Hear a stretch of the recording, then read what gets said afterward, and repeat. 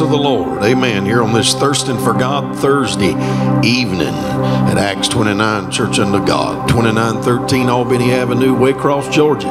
Somebody say, We plan on getting wet house of God tonight. Psalm 65 and 9, the Bible said in the word of the Lord, He visits the earth and He waters it.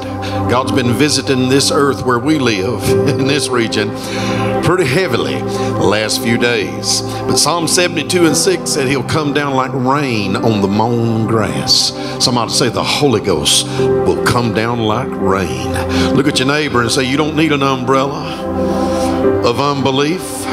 Tell them, say, Go ahead and prepare to get soaked. Hallelujah. Glory to God. We need his outpouring. Amen. We need his righteous rain. Hosea 10 and 12 said, Sow to yourselves in righteousness, reap in mercy. Break up your fallow ground, for it is time to seek the Lord that he may come and rain righteousness upon us. Amen. Metaphorically, Hosea the prophet declares when he prayed, when he sought the Lord, when God comes, he's going to come like a righteous rain. Amen. Acts 3 and 19 says, Repent. Oh, it's almost a curse word modern Christendom. Amen. Repent. Somebody say be converted. Somebody say be changed. You don't get changed unless you're willing to repent and turn from your sin. Amen. He said, Repent and be converted. And here's why. So the times of refreshing might come from the presence of the Lord. Somebody say, when God's people turn to Him and turn from sin, God then in turn rains down like a refreshing rain. Come on, somebody, on His people. Praise God. And that's what this world needs. We need a righteous rain. Amen. And only He's righteous, and only He, amen, can change, amen, the calloused and the cold and the indifferent and those that are bound by darkness. Somebody shout, Only Jesus can do those things. That's why we're here tonight. This is our final, fifth, uh, travailing, uh, thirsting for God Thursday service. Not meaning we don't come in here on Thursday and do what we've been doing. Know I pray we make it a holy habit. Amen. But uh, for the last five Thursdays, God has commissioned us since Sunday evening of Mother's Day when I preached in here Genesis 30 verses 1 where Rachel cried out to her husband Jacob. Now it's Rachel's cry and she cried out to Jacob but we, we take it as the church's cry. We cry out to Jesus and she said to him in Genesis 30 verse 1 give me children lest I die she was literally talking about being able to birth a child. And she was so in travail desiring to have children to, to have a child be birthed from her womb amen that she cried out to jacob like it was his fault somehow. So we take that narrative we take that revelation and we apply it in the spirit. And we're crying out to god amen in these travailing thirsting for god thursday services amen prior to our revival that's beginning next wednesday amen. And, and this is what we're doing. We're crying out, God, give us children. We're talking about born again, born of the Spirit, transformed. Come on, somebody. Converted and changed, brought out of darkness. Give us children. Give us new birth. Hallelujah. Anybody hear the Holy Spirit? Amen. And that's why we're here. That's why we're here. So you're going you're going to hear a lot of praying going on. Where, yeah, I'll preach and it'll be not, you know, the usual traditional delivery. Amen. But the Holy Spirit, amen, is the one we're here for because we're crying out the very heart of God when we're crying out for souls to be saved. Somebody says the heart of God. This is the reward of his sufferings that people believe on Jesus and be saved. Acts 16 and 31 said, Believe on the Lord Jesus Christ, you'll be saved, you and your house. Somebody say that means believe on Jesus, you will be saved, and your family. Somebody say all in the family. What a promise. And the jailer asked in verse 30 of Acts 16, he said, What must I do to be saved? And that's why Paul preached to him from that prison and he said, Believe on Jesus. Somebody say, Believe on Jesus and be saved. And ain't you glad he went on and he said, Not just you, amen. I promise I'll reach your family. That don't mean when I believe on Jesus, automatically anybody kin to me gets saved. No, people are not saved because I got saved, but God says, Because you're now mine, you get saved. Now I put you in a position with me that's right. And when you pray, things will happen. And when you cry out to me, I'll move. Hallelujah. Somebody shout, You can't tiptoe past the Holy Ghost. Uh, somebody shout, Your seed can't outrun the Holy Ghost.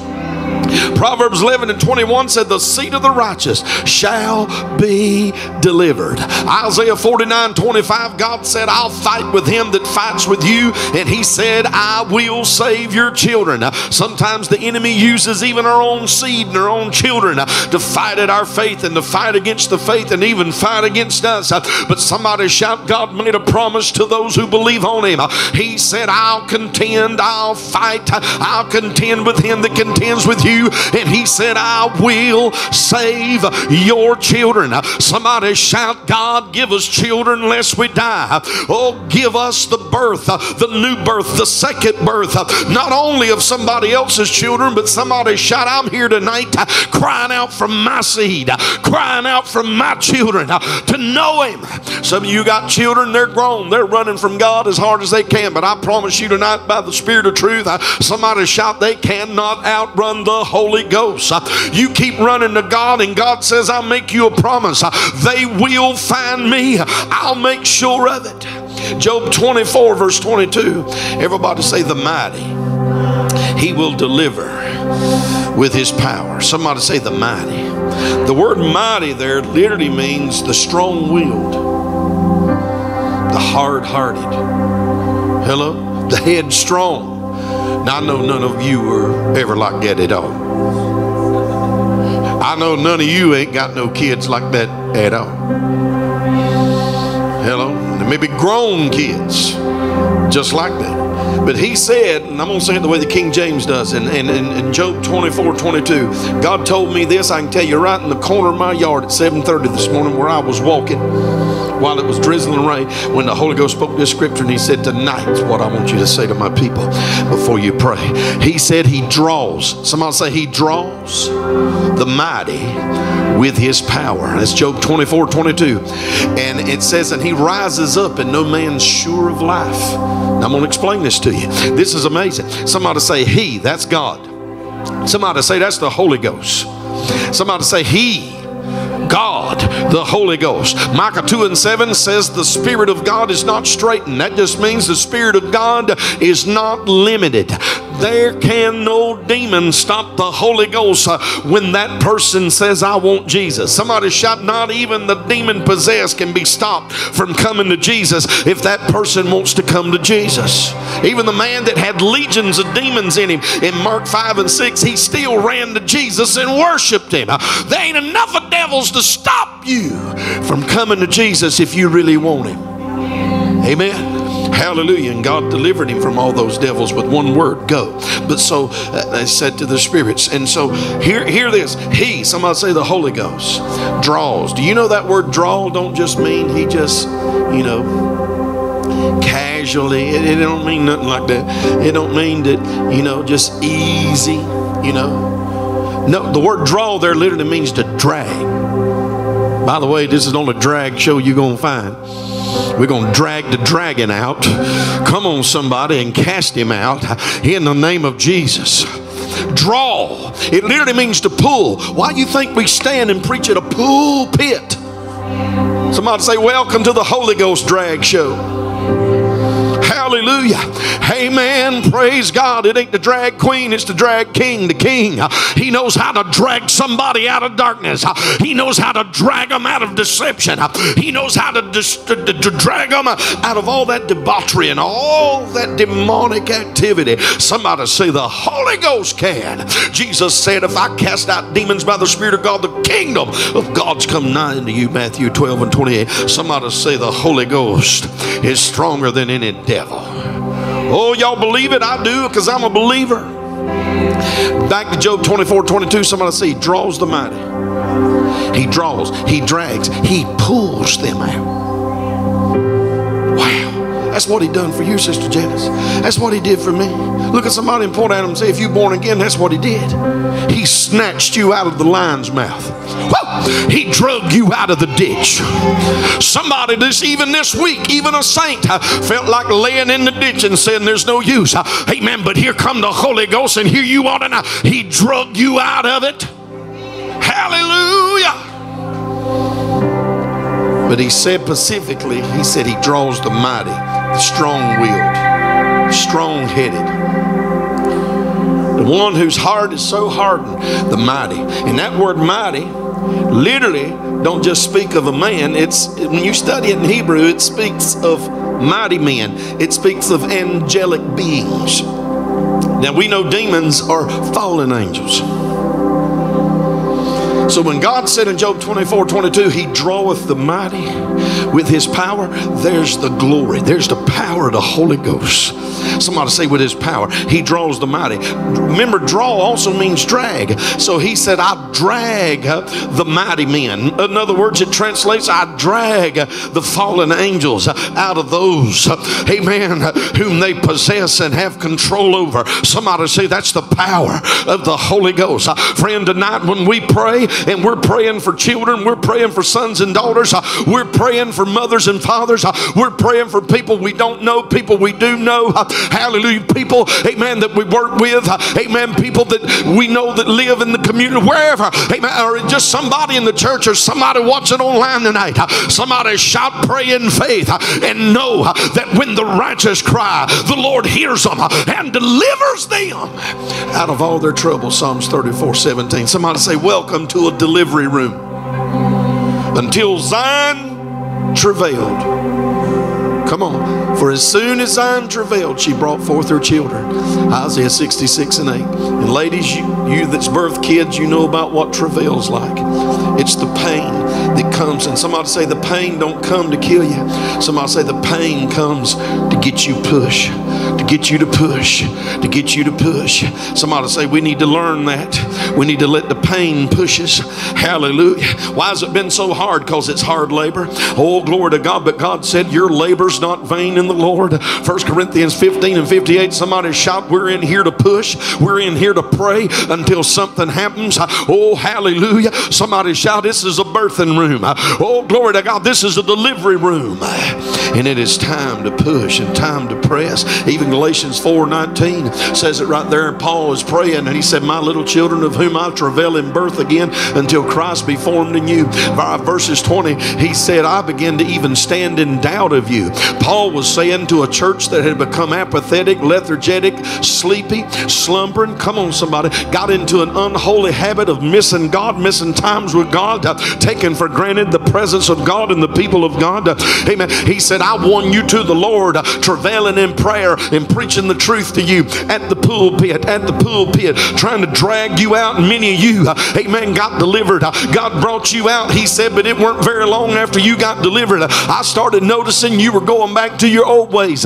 Amen. You were starting to get back into some corrupt things. Your nature was not that of the new man. You were starting to resemble the old man again. And Paul said, Here I am having to travail in birth for you again. Travail's not just about seeing people get born again into the kingdom. Sometimes the people of God start slumbering, getting slothful, and somebody's got to notice it, and it's got to bother them. It's got to cause them to travail and say, God, wake up the church. God, stir up those, Lord Jesus, that are getting used to the dark, that are called by your name. Because he said, If my people, which are called by my name, shall humble themselves and pray, seek my face, turn from their wicked ways, then I'll hear from heaven, forgive their sin, and heal their land. Second Chronicles 7, verse 14. Hallelujah. Holy. So Paul said, I've had to travail in birth again. And by verses 20 of Galatians 4, he said again, he said, I stand in doubt. Paul was Paul was a bold preacher. Amen. His preaching got him murdered. The early apostles, their lives was taken from them prematurely by persecutors because of the way they preached. I had a preacher years ago tell me, he said, if you was really preaching the truth, you'd bring harmony in unity everywhere you went. I said, brother, have you not heard Hebrews 4.12? We're preaching with a sword. Take the S off of it, you got a word. Come on, anybody hear the Holy Ghost? Somebody say the other day, they thought it sounded good. Very famous person. They said, I'm not a controversial person. Hey man, I get along with everybody. I thought, well, you on you ain't on this team because light and darkness never cohabitate. God divided light from darkness in Genesis 1 4, and evil and holy never get along. Jesus and Jezebel will never sit down at a table and reason a treaty. Come on, somebody between the light and the darkness. No, somebody shout, You don't reason demons out, you cast them out. We're in a warfare. Christianity's a warfare, not some little, amen, Sunday morning welfare. There's a fight going on, and we're to fight a good fight of faith and lay hold on eternal life. Amen. 1 Timothy 6 and 12 and Jude verses 3 said we're to contend for the faith that has once been delivered unto us. I've been accused of being contentious, but I'm not a contentious person. I am a contender for the faith. And there is no room for compromise. Come on, anybody hear the Holy Spirit? So, somebody say, We're here to travail for people to be born into the kingdom. We're here to travail in prayer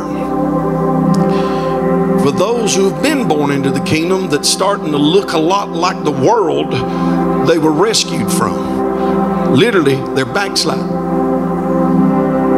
We're here to travail for the church that's gone to sleep. Look around, there's a lot of them sleeping. I'll just go ahead and say it, and if it offends them, I pray they get repent, get right. But we got a lot of sleepers in our church. They love naps more than they love His presence. You know, in Genesis chapter 4, the Bible said in the word of the Lord, don't you turn off. Genesis chapter 4, when God removed Cain, who killed his brother Abel, from his presence, it said he went into the land of Nod. Someone say the land of Nod. That's where we get the term today, even to this day, nodding off. That's what happens when you leave the presence of God. You start taking naps. You start nodding off. Come on, somebody. You start laying out and laying off. You, you, you, you start holding back, reclining. Come on, somebody, and declining. Where once, not that long ago, you had a zeal that caused you to push and press. That's what Paul's saying. He said, I'm, I'm, I'm travailing for those that have already been born again. I'm, I'm, I'm, I'm praying, amen, glory to God, just like I did when I prayed for them to get saved. That's how serious it is because he knew a person could backslide and miss eternity with God. That's how serious it was, and it caused him to travail. Somebody say it should burden us that people don't come to church. It should burden us that people we know or don't know that we're around don't know Jesus, that ain't born again. Come on, somebody, somebody shout, it should burden us if the Holy Ghost is restricted and can't be poured out in a service. Because uh, this is where I'm going with this. Uh, we're here to travail in birth, we're here to cry out to God for the Holy Ghost and for souls to be saved and for the church to be revived. Because without the Holy Ghost, uh, none of these things can happen to begin with. For it's not by might nor by power, but it's by my spirit, says the Lord of hosts. Zechariah 4 and 6. Somebody say, None of these things we're hearing preached can ever become possible until the Holy Ghost has full reign, complete supremacy over our life and over the church. This ain't ours, this is His. That's how it works. Jesus came to every church in the book of Revelation, all seven of them, He opened up saying, I know your works. I believe He'd say to the modern church today, Yeah, I've looked around and I see your works, I see your services, but do you want to see mine? Somebody shout, We need the Holy Ghost. Yeah. So that's the top priority of our praying. That's what the early church did in Acts chapter 1 and Acts 2. Before the day of Pentecost came and the Holy Ghost was poured out, they were there for one promise, one purpose, one reason. Luke 24 49. Tarry ye in the city of Jerusalem until you be endued or clothed with power from upon high. They were there praying a bunch of prayers for 10 days, Sister Julie. They prayed for one, the Holy Ghost. I need your power. Because back to Job 24 22, somebody say, He draws the mighty, drags them out of darkness, strong willed, those that are rebellious at heart with His power. It's the Holy Ghost. There ain't one that can deliver a sinner from their sin. It's the Holy Ghost. So the church needs the Holy Ghost. Or she's just a religious community, a little religious club, not a sanctuary. Hallelujah. And you know it's a religious club because you can predict when it starts and when it's going in. It's on the clock. Somebody shout, it's time to clock out, church. Oh, glory to God. Let the Holy Ghost, let the rushing mighty wind come again. Because when the rushing mighty wind comes in, somebody say the folks won't rush the mighty wind. Oh, hallelujah. Somebody say it's time for thee, oh Lord, to work. For we've made void your law. Psalms 119, 126. David said, God, it's time for you to come and do. It's time for you to come with your divine doings. He said, because we've made empty this word and we've made it vain through our traditions of men. Matthew 15 and 6, what? The commands of God. This word is powerful. It is quick. It can raise the dead. It's sharper than a two-edged sword, piercing even to the dividing of the son of the soul and spirit, and and marrow, as the discerner of the intents and thoughts of the heart. Hebrews 4 and 12. Somebody say this word is. But this word can't do nothing until we act on it. Until we, and one of the acts we act on it with is we, this is the first act. Somebody say the first act is we get out of the way and we surrender to the Holy Spirit. And we yield to Him and say, I will not leave until you've come. I need you more than I need anyone else in this world.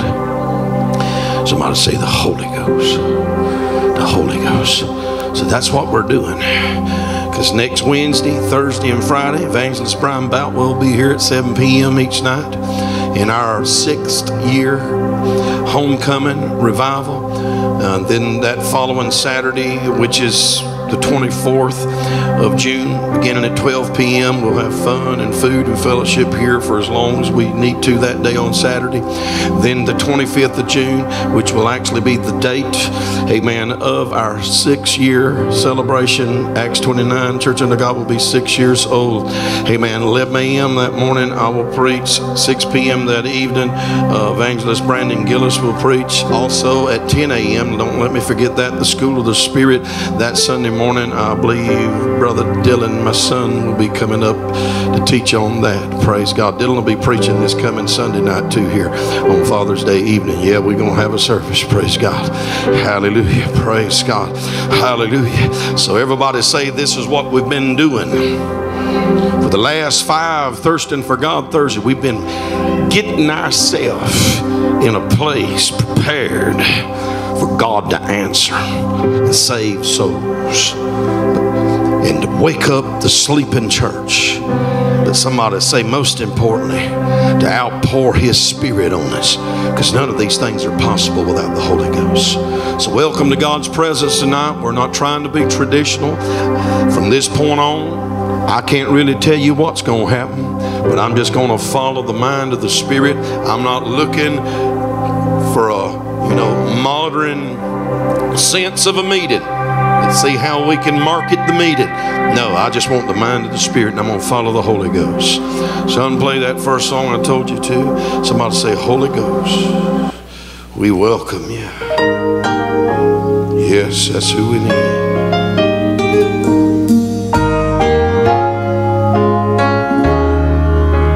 Holy Spirit, thou art welcome in this place.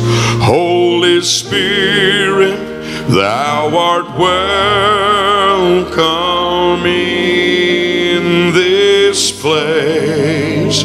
Omnipotent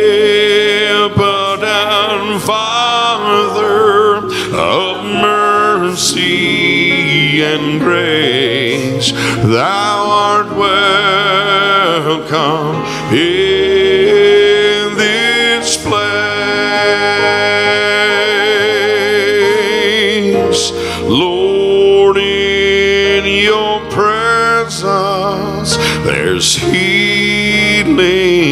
divine.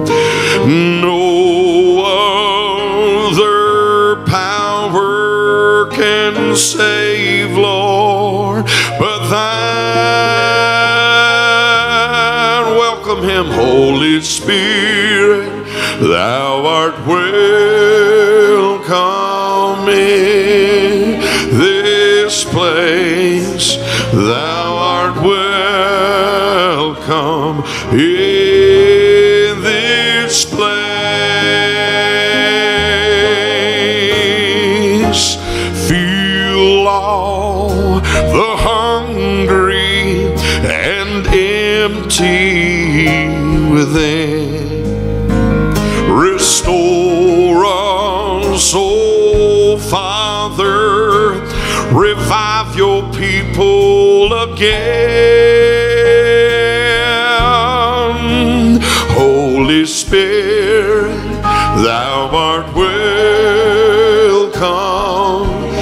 this is a song, but it's more of a prayer than it is a song. The book of Psalms, Song of Solomon. They are songs, just like this song. Oh, Holy Spirit, thou art well. It's music and lyrics, but it's a message. And it's communing with God. That's what we ask for. Ye then, being evil, know how to give good gifts unto your children. How much more shall your heavenly Father give the Holy Ghost to those who ask Him? Luke 11 13. We ask for you, Holy Ghost. We want all your gifts. We want you to do what you want to with whom you want. For as long as you want, you're welcome. You're welcome. Sing it, church. Holy Spirit. You're welcome. Yes. Come on, lay your hands on your heart and say, You're welcome in this place. Holy Spirit, you're welcome